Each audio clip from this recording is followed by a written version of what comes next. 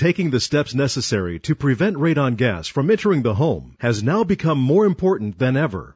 Prolonged exposure to radon gas has been scientifically linked to causing lung cancer in humans. A recent study released by the Health Protection Agency in Great Britain has also linked exposure to radon gas to squamous cell carcinoma, a non-malignant form of skin cancer. The link between radon gas levels in the home with lung and skin cancer are important reasons to have your home tested to find out the level of radon gas that is present in the home's interior air. SWAT Environmental is aware of the link between contracting skin cancer from radon gas, and they specialize in reducing radon gas levels in homes. If the gas is found in the home, SWAT Environmental will be able to install a system that will reduce radon gas entry.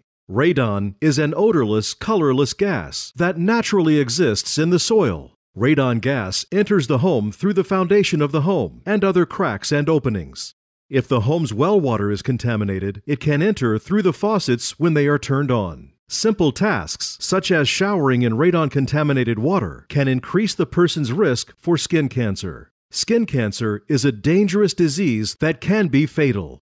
With this new information on the link between radon gas and skin cancer, every home should be tested. For more information about radon gas, radon testing options, and how to reduce radon when found in the home, please contact SWAT Environmental at 1 800 667 2366 or visit the SWAT Environmental website at www.radonsystem.com.